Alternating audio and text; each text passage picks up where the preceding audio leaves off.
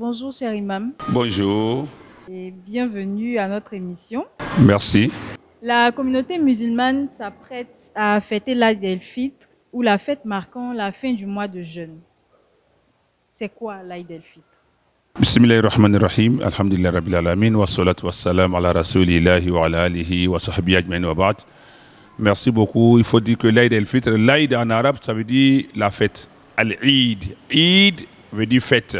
Al-Fitr, ça veut dire la rupture. Donc, Eid al-Fitr, c'est le terme original. Eid al-Fitr.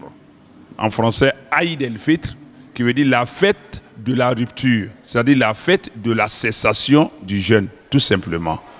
Une occasion pour le musulman, ou je dirais même la communauté musulmane, d'exprimer sa joie au Seigneur, de leur avoir, euh, de leur avoir euh, euh, offert cette opportunité de réforme, de revivification, revivification de l'âme, de reconnexion avec lui, de pouvoir s'imprégner dans l'adoration, d'abandonner les vices, les choses reprochables, et aussi d'avoir pu accomplir le jeûne en son honneur. Et donc, c'est cette joie-là qui se manifeste en ce jour qui est le lendemain de la fin du Ramadan, qu'on appelle Eid al-Fitr, Eid al-Fitr. Eid al-Fitr, ça c'est le terme original, qui est traduit en français par Eid al-Fitr, qui veut dire seulement la fête de la rupture.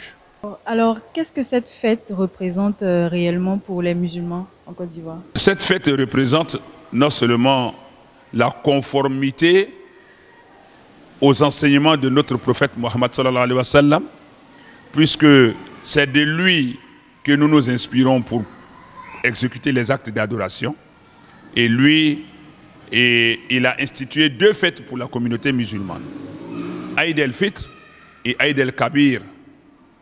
Aïd el-Fitr, qui est la fête d'après le Ramadan, et l'autre Aïd el-Kabir, qu'on dit encore Eid al-Adha ou Aïd el-Adha, qui veut dire la fête de l'immolation. Donc ce sont ces deux fêtes au plan religieux qui ont été données à la communauté musulmane. Et donc Allah nous dit dans le Coran, chapitre 33, verset 36, Allah nous dit ceci, il n'appartient nullement ni à un croyant, ni à une croyante, dès lors que Allah et son messager ont décidé d'une chose, qu'ils aient une alternative, qu'ils aient une option à observer. Et celui qui se- s'inscrit dans cette logique aura désobéi à Allah. Et quiconque désobéit à Allah et à son messager, ce sera égaré d'un égarement manifeste. Donc, en nous appuyant sur ça, Allah nous dit encore dans ce même Coran, euh, dans le même verset, euh, pardon, dans le même chapitre, il dit il y a en la personne du prophète Mohammed un modèle parfait à suivre. Il dit ailleurs, il dit ce que le messager vous apporte, il vous conseille, adoptez-le. Et ce qu'il vous proscrit, abandonnez-le, craignez Allah, car Allah est dur en punition. En mettant tout ça ensemble, dans un premier temps, c'est lui qui l'a institué, nous le suivons sur recommandation du Seigneur.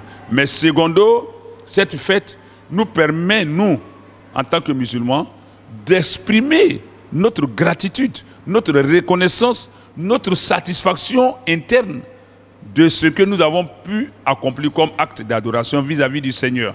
Donc cette fête-là, elle est symbolique.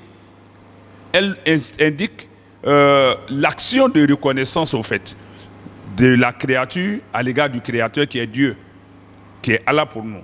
Donc, cette fête euh, renferme plus d'un sens. Euh, elle est tout simplement le couronnement de tout un mois de ferveur, d'adoration. Alors, ce qu'on aimerait savoir maintenant, c'est quel est le processus, ou plutôt comment est-ce que se définit la date de, de l'Aïd el-Fitr Merci beaucoup, ma soeur. retenez que l'islam, dans son principe, est rationnel. Et dans cette rationalité, l'islam s'appuie sur du concret. Quand bien même l'islam nous indiquerait une voie abstraite, elle est rationnelle, elle est logique. C'est-à-dire c'est compréhensible.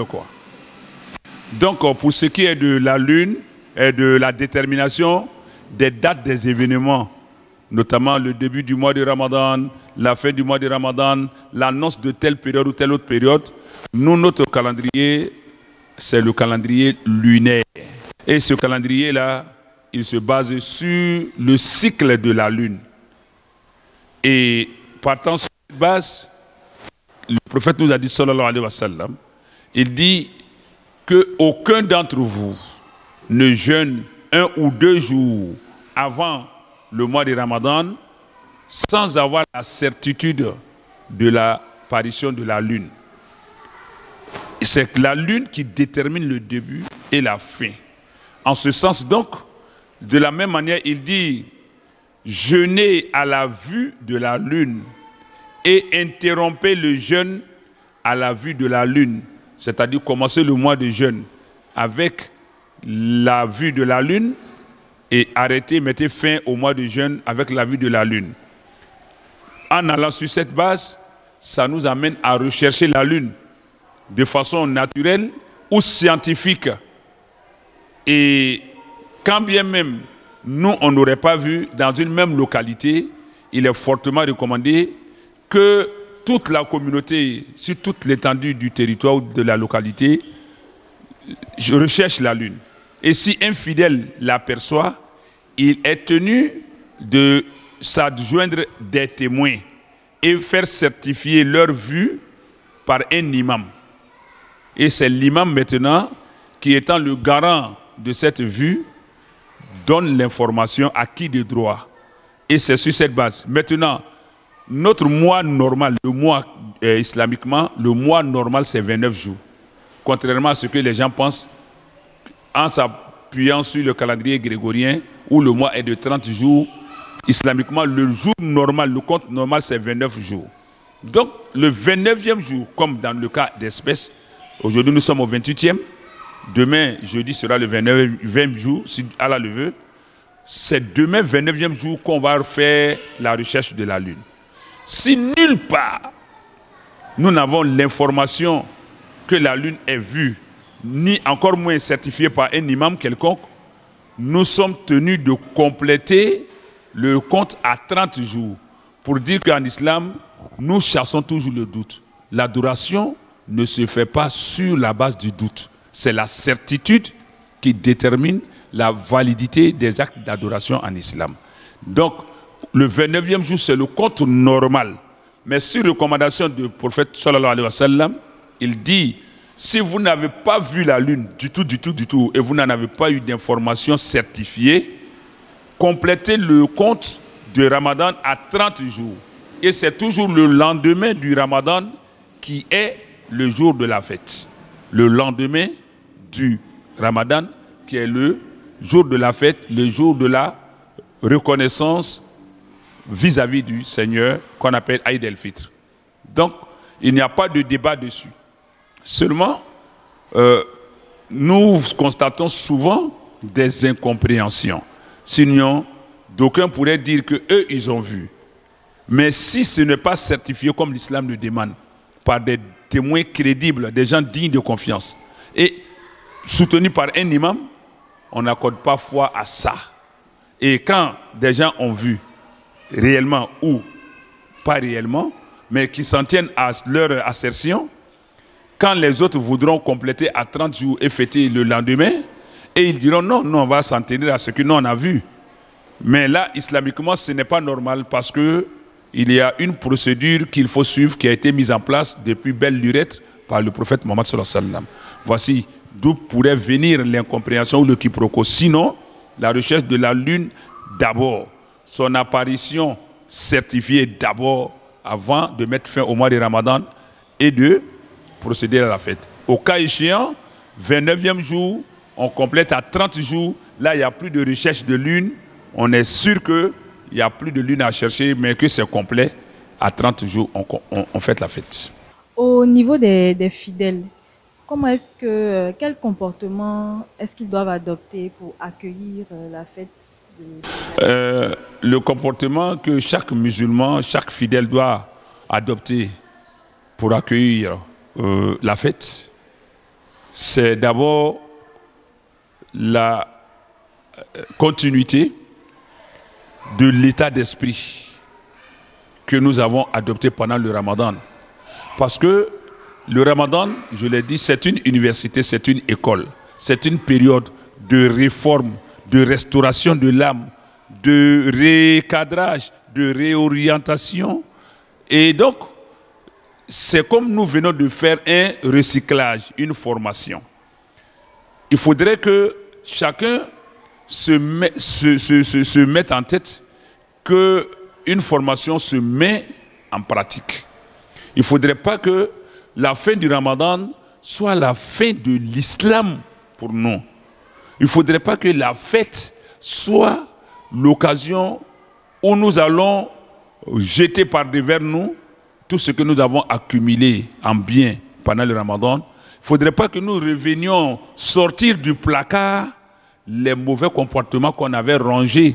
Ce n'était même pas à ranger au fait, c'était à détruire.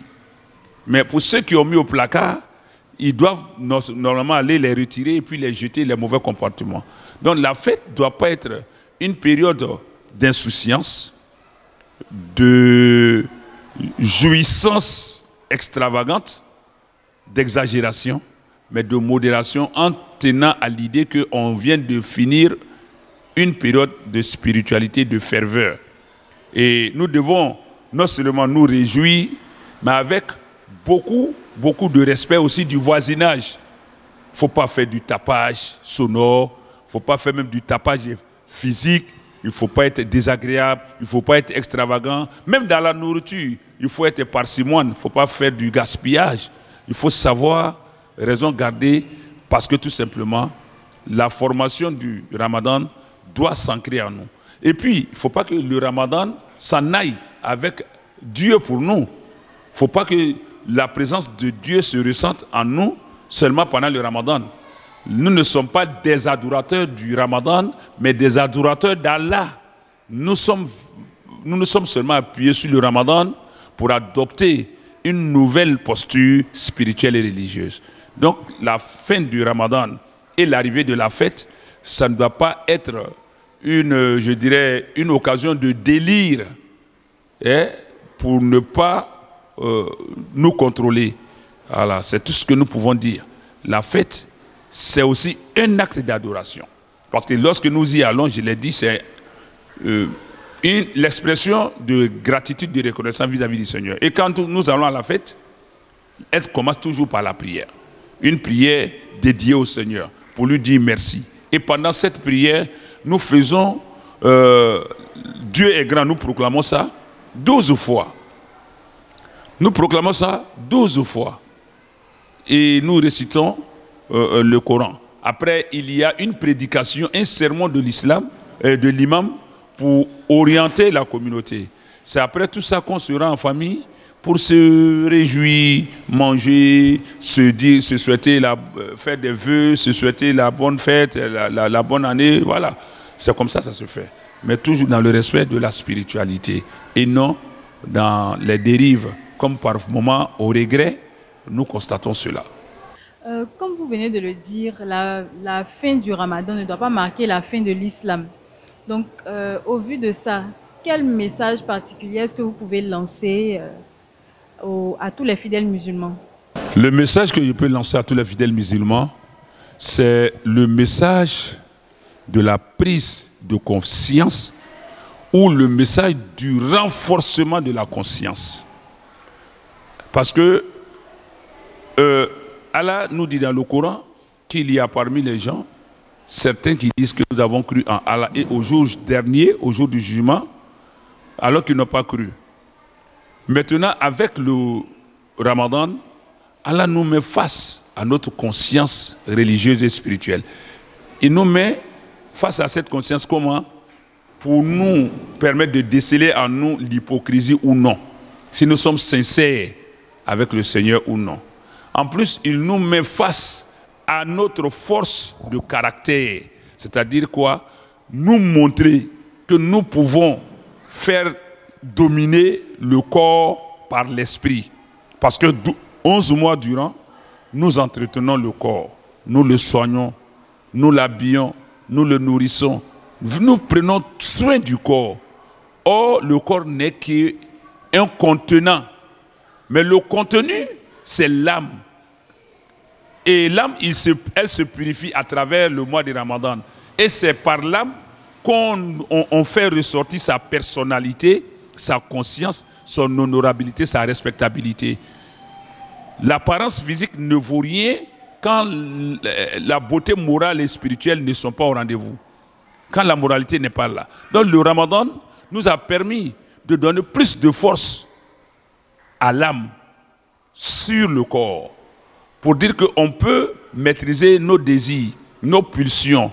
On peut orienter notre corps vers ce que le Seigneur désire. Et pendant le ramadan, on a pu le faire. Nous avons pu être maîtres de nous-mêmes. Donc, ce que je donne comme conseil à chacun, c'est de ne plus redevenir le serviteur, l'esclave de son corps.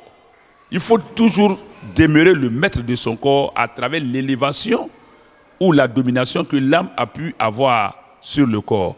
On a pu plier euh, le corps face à ses désirs. Mais plus loin, si nous ne euh, maintenons pas le cap, l'éducation, la formation que le ramadan nous a inculqué, nous paraissons maintenant pour des hypocrites aussi.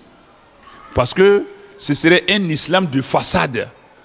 Mais la façade là, elle est pour qui? Pour les hommes. Alors que la réalité devrait être pour le Seigneur.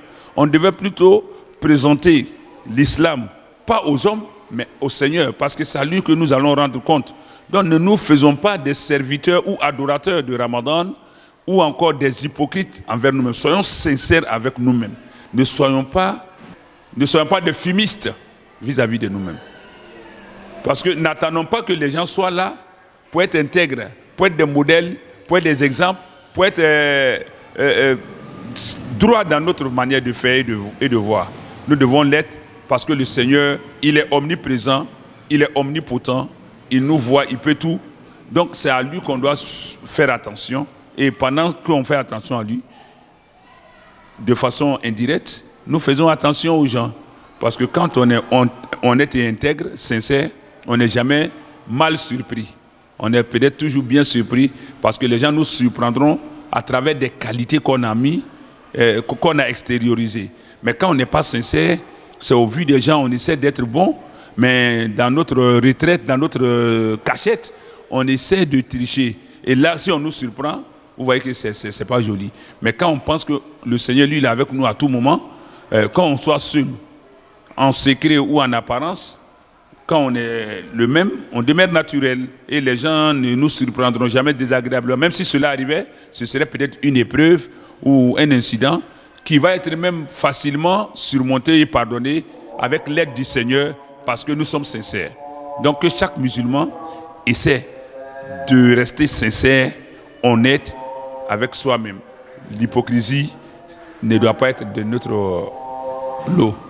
C'était la dernière question. On tient à vous dire merci d'avoir accepté notre entretien et surtout merci de nous avoir instruits aujourd'hui sur euh, tout ce qui concerne l'Aïd el-Fitr. C'est moi qui vous remercie de m'avoir offert cette belle opportunité de diffuser ce que nous avons le devoir de diffuser, à savoir donner la bonne information, le bon enseignement et voilà, merci à vous aussi, cette info, pour cette diligence de votre part.